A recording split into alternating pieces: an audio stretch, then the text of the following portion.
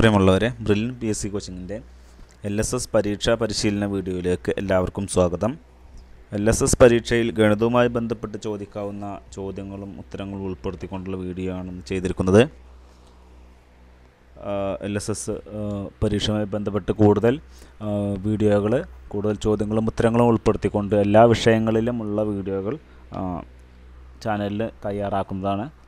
എല്ലാവരും L S പരീക്ഷയ്ക്ക് നല്ല രീതിയിൽ പഠിച്ച് പരിശീലിച്ച് പരീക്ഷ എഴുതാൻ പോകുക. അപ്പോൾ നമുക്ക് ചോദ്യങ്ങളിലേക്ക് കടക്കാം. ഒന്നാമത്തെ ചോദ്യം. താഴെ തന്നിരിക്കുന്ന ചിത്രത്തിൽ ആകെ എത്ര ചതുരങ്ങളുണ്ട്? നാല് ഉത്തരങ്ങളിൽ നിന്ന് ശരിയായത് കണ്ടെത്തുക. താഴെ തന്നിരിക്കുന്ന ചതുരം വെളുത്ത നിറത്തിലുള്ള ചതുരമാണ്. ചതുരത്തിൽ ആകെ എത്ര ആ ചിത്രത്തിൽ ആകെ എത്ര ചതുരങ്ങളുണ്ട് എന്നാണ് കണ്ടെത്തേണ്ടത്. നാല് ചെറിയ ചതുരങ്ങൾ കൂട്ടിച്ചേർത്ത് വെച്ചിട്ടുള്ള വലിയൊരു ചതുരമാണ്. ഉത്തരം പത്ത് ചതുരങ്ങളാണ് ഉള്ളത്. എങ്ങനെയാണ് പത്ത് ചതുരങ്ങൾ വരുന്നത് എന്ന് താഴെ വിവിധ ചിത്രങ്ങൾ നൽകിക്കൊണ്ട് തന്നിട്ടുണ്ട്. നമുക്ക് നോക്കാം. വയലറ്റ് നിറത്തിൽ കാണുന്ന നാല് ചെറിയ ചതുരങ്ങൾ. രണ്ട് ചെറിയ ചതുരങ്ങൾ ചേർത്ത് വെച്ച മൂന്ന് വലിയ മൂന്ന് ചതുരങ്ങൾ.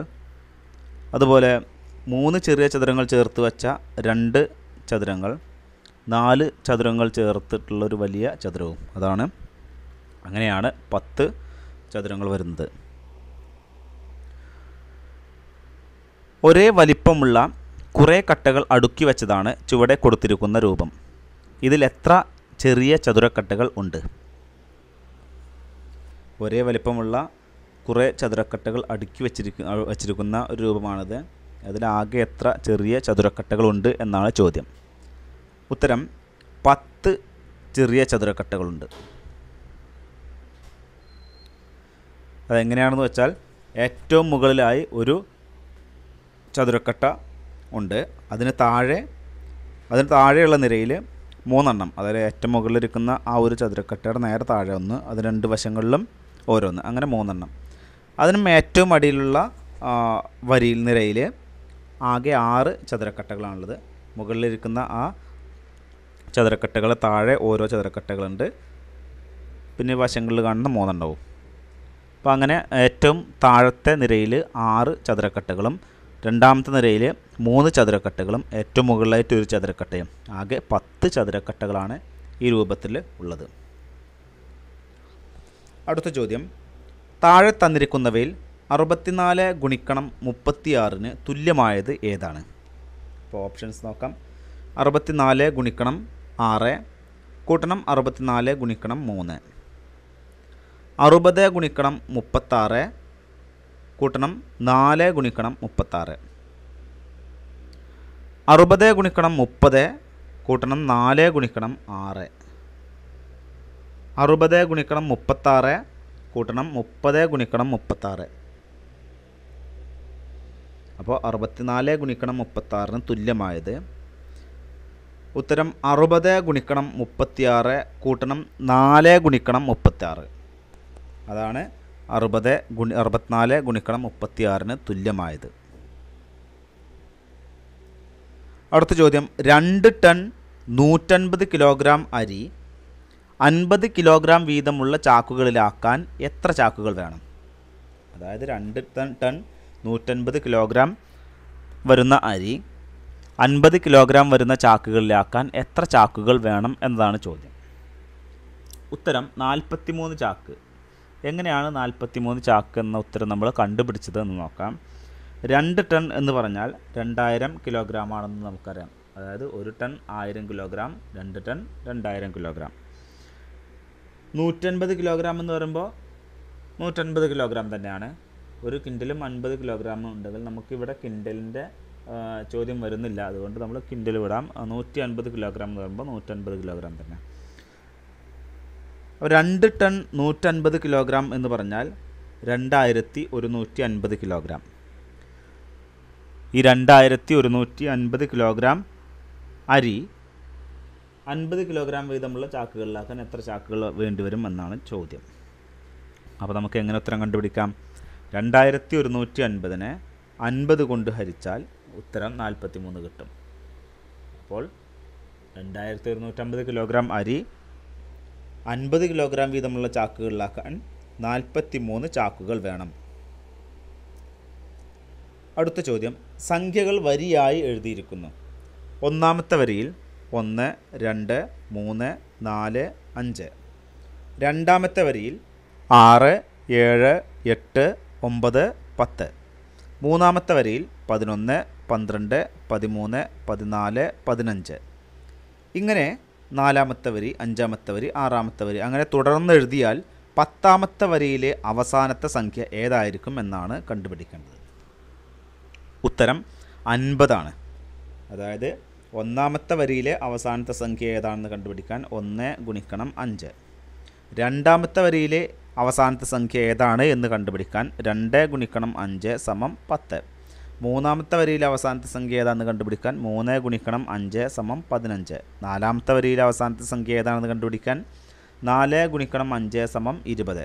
ആ രീതിയിൽ പോയാൽ പത്താമത്തെ വരിയിലെ അവസാനത്തെ സംഖ്യ കണ്ടുപിടിക്കാൻ പത്ത് ഗുണിക്കണം അഞ്ച് സമം അൻപത്. ഇനി ഇതൊന്നുമില്ലെങ്കിൽ അഞ്ചിന്റെ ഗുണനപ്പട്ടിക അറിഞ്ഞിരുന്നാലും മതി. നമുക്ക് ഈ കണക്ക് എളുപ്പത്തിൽ ചെയ്യാവുന്നതാണ്. ഏറ്റവും ചെറിയ അഞ്ചക്ക സംഖ്യയും ഏറ്റവും വലിയ മൂന്നക്ക സംഖ്യയും തമ്മിലുള്ള വ്യത്യാസം എത്രയാണ്? ഏറ്റവും ചെറിയ അഞ്ചക്ക സംഖ്യയും ഏറ്റവും വലിയ മൂന്നക്ക സംഖ്യയും തമ്മിലുള്ള വ്യത്യാസം എത്ര? ഉത്തരം ഒൻപതിനായിരത്തി ഒന്ന്. ഉത്തരം കണ്ടുപിടിച്ച രീതി ഏറ്റവും ചെറിയ അഞ്ചക്ക സംഖ്യ ഏതാണെന്ന് നമുക്കറിയാം. പതിനായിരമാണ്. ഏറ്റവും വലിയ മൂന്നക്ക സംഖ്യയോ? തൊള്ളായിരത്തി തൊണ്ണൂറ്റി ഒൻപത്. അപ്പോൾ ഇവ തമ്മിലുള്ള വ്യത്യാസം കണ്ടുപിടിക്കാൻ പതിനായിരത്തിൽ നിന്ന് തൊള്ളായിരത്തി തൊണ്ണൂറ്റൊൻപത് കുറയ്ക്കുന്നു ഉത്തരം ഒൻപതിനായിരത്തി ഒന്ന്. അടുത്ത ചോദ്യം. രാജു അൻപത്തിയഞ്ച് മിനിറ്റ് യാത്ര ചെയ്ത് ഒന്ന് പത്തിന് വീട്ടിലെത്തി. രാജു പുറപ്പെട്ട സമയം എത്രയാണ്?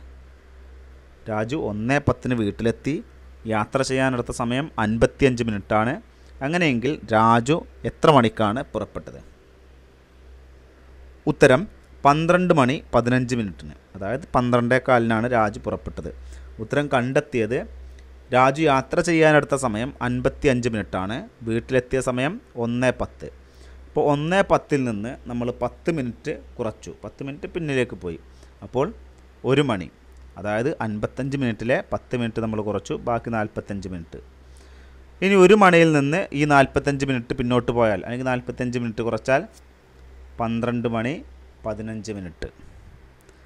അപ്പോൾ രാജു പുറപ്പെട്ട സമയം പന്ത്രണ്ട് മണി പതിനഞ്ച് മിനിറ്റാണ്. പന്ത്രണ്ടേ കാലിനാണ് രാജു പുറപ്പെട്ടത്. സംഖ്യയിലെ അക്കങ്ങൾ തമ്മിൽ കൂട്ടിയാൽ മൂന്ന് കിട്ടുന്ന എത്ര സംഖ്യകൾ നൂറിനും ഇരുന്നൂറിനും ഇടയിലുണ്ട്? ഒരു സംഖ്യയിലെ അക്കങ്ങൾ തമ്മിൽ കൂട്ടിയാൽ ഉത്തരമായി മൂന്ന് കിട്ടുന്ന എത്ര സംഖ്യകൾ നൂറിനും ഇരുന്നൂറിനും ഇടയിലുണ്ട്? ഉത്തരം മൂന്ന് സംഖ്യകൾ. നൂറ്റി ഒന്ന് നൂറ്റി പത് സോറി നൂറ്റി രണ്ട് നൂറ്റി പതിനൊന്ന് നൂറ്റി ഇരുപത് തുടങ്ങിയവയാണ് ആ സംഖ്യകൾ. അതായത് നൂറ്റി രണ്ടിലെ ഒന്ന് പൂജ്യം രണ്ട് എന്നീ സംഖ്യകൾ കൂട്ടി നോക്കിയാൽ ഉത്തരം മൂന്ന് കിട്ടും. നൂറ്റി പതിനൊന്നിലെ ഒന്ന് കൂട്ടണം ഒന്ന് കൂട്ടണം ഒന്ന്. ഈ മൂന്ന് ഒന്നുകളും തമ്മിൽ കൂട്ടി നോക്കിയാൽ ഉത്തരം മൂന്ന് നൂറ്റി ഇരുപതിലെ സംഖ്യ അക്ക അക്കങ്ങൾ ഒന്ന് രണ്ട് പൂജ്യം. ഇവ തമ്മിൽ കൂട്ടി നോക്കിയാലും ഉത്തരം മൂന്നാണ് കിട്ടുന്നത്. അടുത്ത ചോദ്യം. രണ്ടായിരത്തി ഇരുപത്തി ഒന്ന് ജനുവരി ഒന്ന് വെള്ളിയാഴ്ചയാണ്. അങ്ങനെയെങ്കിൽ രണ്ടായിരത്തി ഇരുപത്തൊന്ന് മാർച്ച് ഒന്ന് ഏത് ദിവസമായിരിക്കും? രണ്ടായിരത്തി ഇരുപത്തൊന്ന് ജനുവരി ഒന്ന് വെള്ളിയാഴ്ചയാണ് എങ്കിൽ രണ്ടായിരത്തി ഇരുപത്തൊന്ന് മാർച്ച് ഒന്ന് ഏത് ദിവസമായിരിക്കും? രണ്ടായിരത്തി ഇരുപത്തൊന്ന് ജനുവരി ഒന്ന് വെള്ളിയാഴ്ച നമുക്ക് എല്ലാവർക്കും അറിയാം. പിന്നെ അത് മാർച്ച് രണ്ടായിരത്തി ഇരുപത്തൊന്ന് മാർച്ച് ഒന്ന് ഏതാണെന്ന് അറിയാൻ നമ്മൾ കലണ്ടർ നോക്കിയാൽ പെട്ടെന്ന് നമുക്ക് മനസ്സിലാകും അല്ലേ?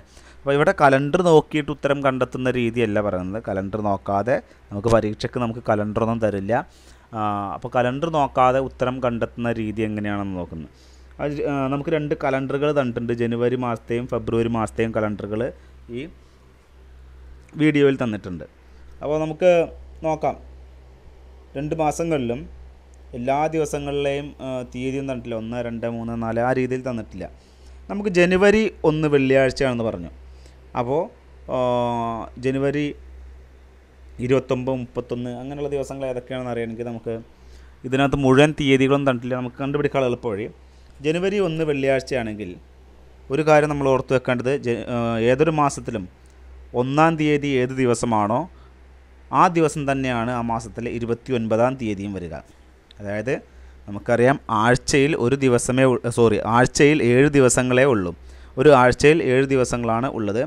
അപ്പോൾ ഒന്നാം തീയതി വെള്ളിയാഴ്ചയാണെങ്കിൽ അടുത്ത വെള്ളിയാഴ്ച എത്രയാണ്? ഈ ഒന്നിന്റെ കൂടെ ഏഴ് കൂട്ടിയാൽ.